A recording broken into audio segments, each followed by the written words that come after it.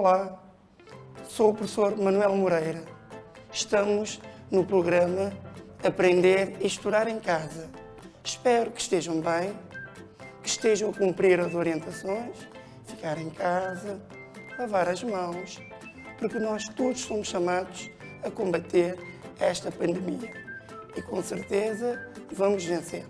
Vamos para a nossa aula de hoje. Então vamos ver o nosso sumário. Operações com radicais, simplificação de radicais, racionalização do denominador de uma fração.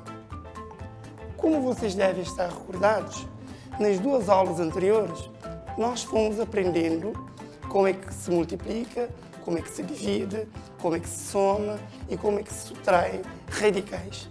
Aprendemos ainda a passagem do fator para dentro e para fora do radical, bem como aprendemos o radical de um radical e a potência de um radical. Então, na primeira parte da aula de hoje, nós vamos ver exercícios que juntam tudo, aqui, tudo aquilo que nós aprendemos anteriormente. Então, vamos ver o que é isso de simplificação de radicais. Espero que estejam atentos à aula. Simplificar radicais nada mais é do que aplicar em simultâneo as propriedades dos radicais e as operações com radicais. Então vamos para um exercício, exercício prático.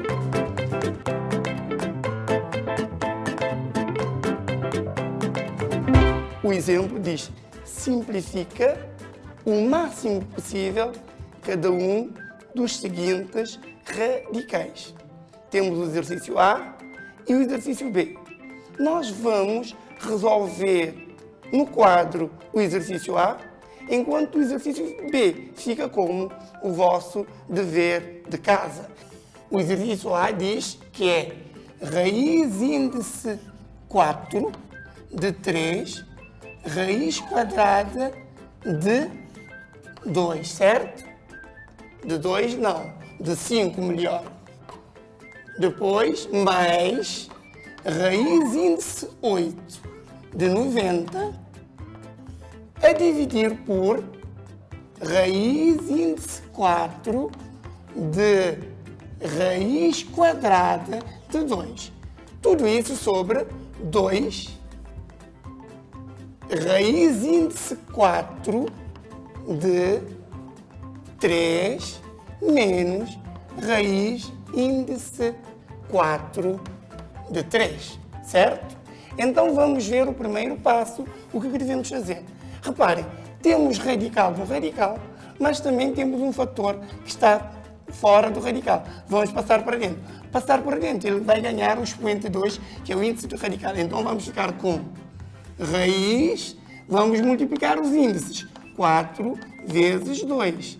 Então fica 3 ao quadrado vezes 5, mais raiz índice 8 de 90 a dividir por raiz 4, aqui é 2, vamos multiplicar. 4 vezes 2, raiz índice 4 vezes 2 de 2.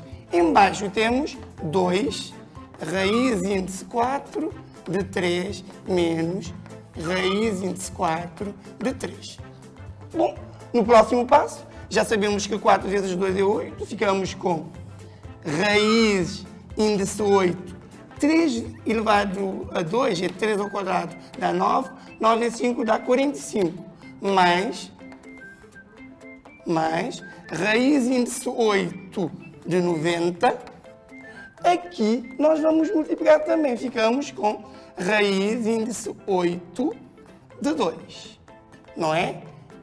Embaixo vamos pôr o nosso denominador, 2, raiz índice 4 de 3, menos raiz índice 4 de 3. Igual, vamos fazer a frente, nós temos aqui raiz índice 8 de 45, aqui falta pôr o sinal de dividir, mas reparem, temos dois radicais com o mesmo índice, está bem? Tem o mesmo índice. Podemos dividir, então ficamos com raiz índice 8 de 45 mais 90 dividido por 2 dá 45. Ficamos com raiz índice 8 de 45.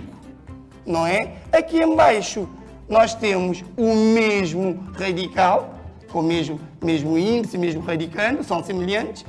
Aqui os, o coeficiente é 1 e ficamos com 2 menos 1.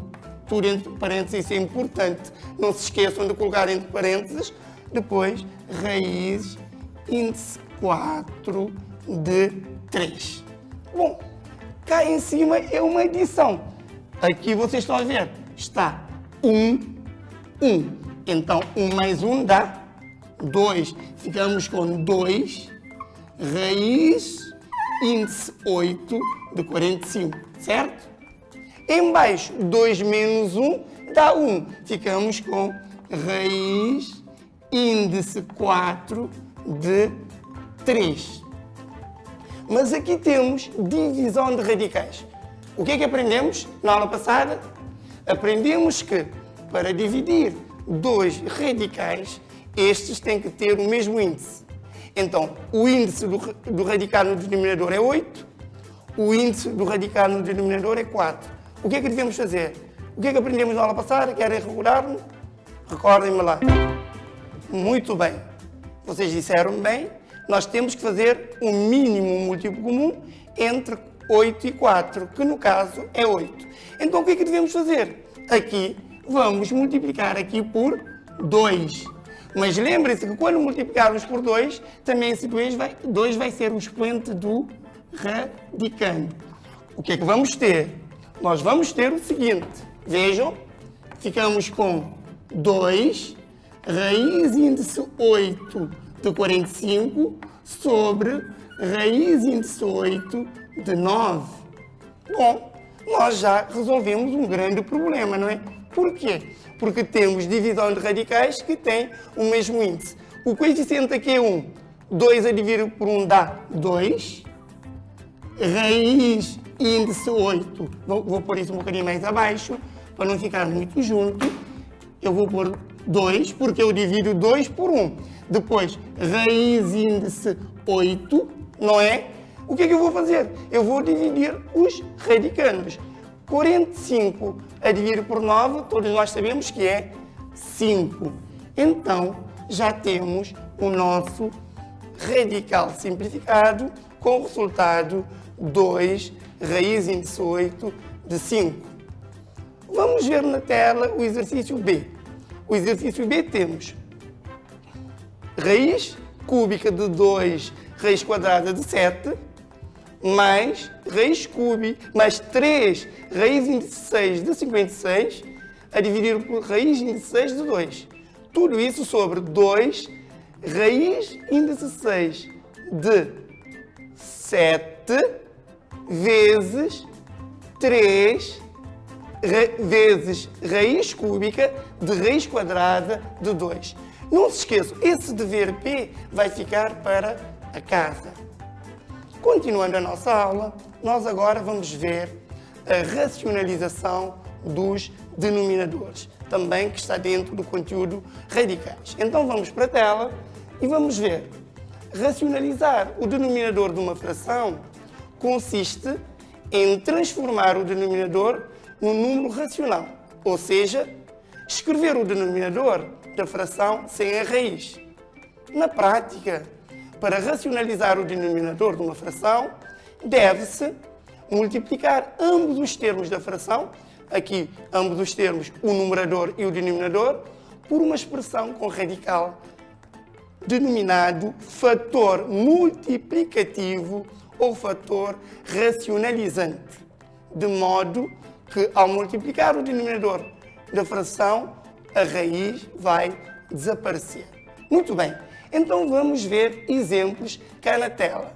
Nós temos três casos distintos que vamos analisar separadamente. Primeiro caso, o denominador é um radical de índice 2, é raiz quadrada de um número. O exemplo que temos é 4 sobre raiz quadrada de 3. Neste caso, o índice é 2, o índice do, do radical que está no denominador. Para racionalizar, o denominador, o expoente do radicando deve ser 2. Para que isso aconteça, é necessário multiplicar ambos os termos da fração pelo fator multiplicativo que é raiz quadrado de 3. Então o que é que vamos fazer? Temos 4 sobre raiz quadrada de 3. O que é que vamos fazer? Vamos multiplicar tanto o numerador como o denominador por raiz quadrada de 3. Aqui em cima é um produto de um número inteiro por radical, fica 4 raiz quadrada de 3. Mas raiz quadrada de 3 vezes raiz quadrada de 3 dá raiz quadrada de 3 ao quadrado. O que é que vamos ter? Expoente do radicando igual ao índice. Cortamos esse expoente e o índice, bem como o símbolo radical, ficamos com 4 raiz quadrada de 3 sobre 3. Reparem, inicialmente o denominador era raiz quadrada de 3, ficamos com 3. Portanto, era um número irracional, matéria que vocês estudaram no nono ano, e que o um número irracional é um número que representa uma dízima infinita não periódica e, como tal, não pode ser representada numa forma de fração de termos inteiros e passamos a ter 3, que é um número racional. Nós vamos então para o segundo caso. No segundo caso, é uma situação em que o índice do radicando é maior que 2. Reparem que dizemos quando o índice da raiz no denominador é maior do que 2. Por exemplo, nós temos 3 sobre raiz de 5 de 6 elevado a 2. Reparem que nós precisamos de racionalizar o denominador. Então, o que é que vamos fazer? Como que vamos fazer para que aquela raiz que está no denominador desapareça? Bom, então vamos fazer. Neste caso, como o índice é 5, deve-se multiplicar o denominador por um fator multiplicativo que faz com que esse expoente também seja 5. Se eu vou multiplicar, vocês aprenderam que multiplicar dois radicais, eles devem ter o mesmo índice e vamos multiplicar os radicanos, então, porque, qual é o valor que o radicano deve tomar? Para que possamos cortar o expoente do radicando com o índice do radical. Pensem lá comigo. Temos raiz de 5 de 6 elevado a 2. Então, muito bem, se multiplicarmos por raiz índice 5 de 6 elevado a 3, certo? Então, se multiplicarmos por raiz índice 5 de 6 elevado a 3 no denominador e no numerador, vamos ter em cima 3, raiz de 5 de 6 elevado a 3, mas aqui potências com bases iguais. Mantemos a base e somamos o expoente. Ficamos com 2 raiz de 5 de 6 elevado a 3 sobre raiz de 5 de 6 elevado a 5. Reparem, expoente do radicando, índice do radical iguais. Podemos cortar. Então, 6 elevado a 6 elevado a 3 dá 216, ficamos com 3 raiz índice 5 de 216 sobre 6. Já estamos com o nosso denominador racionalizado. Mas podemos dar um passo. Reparem que temos 3 sobre 6. Podemos fazer o máximo divisor comum entre eles, dividir tudo por 3, ficamos com 1 meio de raiz índice 5 de 216. Muito bem, então já aprendemos o segundo caso e vamos para o nosso último caso, que é uma situação em que o denominador é uma adição, uma subtração, onde aparece um radical ou pode aparecer adição e subtração também de dois radicais. Veja o que é que temos aqui. Quando o denominador é formado apenas por adição ou subtração, envolvendo alguma raiz quadrada. Neste caso, o fator racionalizante será o conjugado do denominador. Trazemos uma expressão nova aqui, o conjugado. Portanto, se temos uma adição, uma subtração, o conjugado será uma nova expressão em que nós vamos mudar o sinal de uma das parcelas. Repare o que é que eu tenho. Exemplo, 2 sobre 3 menos raiz quadrada de 5. O conjugado do denominador 3 menos raiz quadrada de 5 é 3 mais raiz quadrada de 5. Então, aqui estava menos, passou para mais. Vamos ver como resolver isso. 2 sobre 3 menos raiz quadrada de 5. O que é que vamos fazer? Vamos multiplicar tanto o denominador como o numerador pelo conjugado de 3 menos raiz quadrada de 5, que é 3 mais raiz quadrada de 5, certo? Muito bem? Pronto. Agora reparem que quando nós multiplicamos, nós caímos numa matéria do nono ano. O que é que vocês estão a ver lá? Podem me dizer? Temos uma multiplicação de dois binómios, polinómio de dois termos, mas qual é a única diferença que estamos a ver? Muito bem, muito bem mesmo. Eles apenas diferem no sinal de um dos termos. E isso recorda-nos o quê? O que é que vocês estão a lembrar? O que é que vocês estão a lembrar? Um caso notável, concordo convosco. Mas de concreto, que caso notável? Temos quadrado numa soma, quadrado numa diferença, diferença de quadrados. Muito bem. Se repararem aqui no denominador, temos um produto da soma por uma diferença. E nós vamos cair na diferença do quadrado. É 3 ao quadrado menos raiz quadrada de 5 ao quadrado. Bom, 3 ao quadrado sabemos que é 9, não é? Mas aqui o que é que temos? Potência de um radical. Esse expoente do radical, expoente de todo radical, vai ser expoente do radicando. Então 5 ao quadrado cortamos, fica 5. Mas lá em cima também temos que trabalhar. Nós multiplicamos o 2, que era o nosso numerador, pelo conjugado do denominador. Aplicando a propriedade distributiva, 2 vezes 3 dá 6, 2 vezes 1 dá 2. E ficamos com 6 mais 2 raiz quadrada de 5 sobre 9 menos 5. Muito bem. Reparem que temos 6 mais 2 raiz quadrada de 5 sobre 4.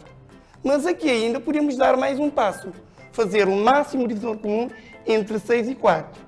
6 por 2 dá 3 4 por 2 dá 2. Aqui também temos um 2. 2 por 2 dá 1, 4 por 2 dá 2. Então o nosso resultado será 3 mais raiz quadrada de 5 sobre 2. Certo? Nós já vimos os três casos. Agora, nós vamos ver uma atividade, uns exercícios que o professor trouxe, mas o professor vai resolver apenas um deles e o restante os alunos vão resolver em casa com a ajuda dos pais e dos professores. Espero que vocês estão, estejam a gostar da aula que estejam com atenção e também que estejam a recordar os conteúdos estudados no trimestre passado. Vamos para o quadro. Muito bem. Vamos apagar o exercício anterior. Vamos apagar o exercício anterior e vamos ver as atividades. O professor propôs três atividades. Quais são? A linha A 2 sobre raiz quadrada de 6. A linha B, 3 sobre raiz de 7 de 2 elevado a 4. E a linha C, 5 sobre 2 mais raiz quadrada de 3. O professor vai fazer apenas a linha A e é muito simples. O que é que temos? 2 sobre raiz quadrada de 6. Vocês podem ver qual desses casos aqui está presente, os casos estudados. Estudamos o primeiro, o segundo e o terceiro. Aqui temos o primeiro caso, certo? Então o que é que vamos fazer? É muito simples. Veja, é igual. Basta que nós multipliquemos tanto o numerador como o denominador pela expressão que está no denominador. E ficamos com 2 vezes raiz quadrada de 6 raiz quadrada de 6, raiz quadrada de 6, raiz quadrada de 6 vezes raiz quadrada de 6, certo? Então, em cima ficamos com 2 raiz quadrada de 6. Aqui, multiplicação de radicais com o mesmo índice, mantém-se e fica 6 ao quadrado. O que é que vamos fazer? Basta que nós cortemos aqui e fiquemos, ficaremos com 2 raiz quadrada de 6 sobre 6. Mas aqui ainda, se quisermos, podemos dar mais um pequeno passo. Reparem que temos 2 sobre 6. O máximo divisor comum entre 2 e 6 é 2. Então, se eu dividir 2 por 2, eu fico com 1. Raiz quadrada de 6, 6 por 2, eu fico com 3. Eu tenho o meu denominador racionalizado. Muito bem, então nós estamos a chegar ao fim da nossa aula de hoje. Espero que vocês tenham entendido bem a matéria.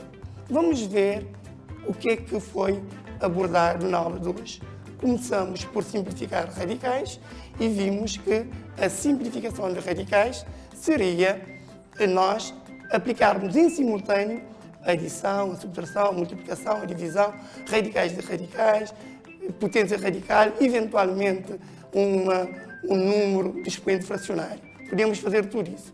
Seguidamente, nós racionalizamos os denominadores e vimos três casos diferenciados, exemplificamos e, finalmente, passamos um dever de casa que, como eu disse anteriormente, os alunos vão fazer com a ajuda dos pais e dos professores.